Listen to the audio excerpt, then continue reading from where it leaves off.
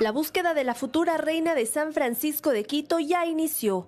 Desde el 1 hasta el 30 de septiembre estará abierta la convocatoria para que quiteñas se inscriban para participar en este certamen. Entre los requisitos están... Los más eh, importantes y básicos es que sea quiteña de nacimiento, que tenga entre 18 y 26 años de edad, de igual forma que esté estudiando en la universidad o ya haya eh, egresado, que tenga su título universitario y lo más importante que nosotros evaluamos un montón es su proyecto social. María Esther Hernández, actual reina de San Francisco de Quito, señala que a diferencia de años anteriores, esta vez no habrá un tema específico del proyecto. Este año hemos abierto para que ellas puedan escoger cualquier tema en el que se quieran enfocar y desarrollar su proyecto. Y durante el año de reinado, la función de la soberana es ayudar a grupos vulnerables. Y espero y anhelo un montón que la persona que venga, que yo entregue la corona, igual lo reciba con mucho cariño, con mucha responsabilidad. Esto es un trabajo un voluntariado de un año que uno tiene que sacrificar muchas cosas, pero créanme que vale totalmente la pena. Consuelo Ordóñez, quien fue la primera reina de Quito,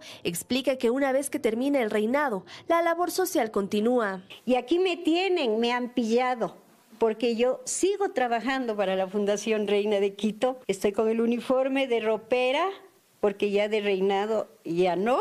Y por ello señala que la principal virtud que debe tener la futura soberana es amar el trabajo social. El rato que amas la obra social quiere decir que amas al prójimo y que estás lista y atenta a dejar todo por amor.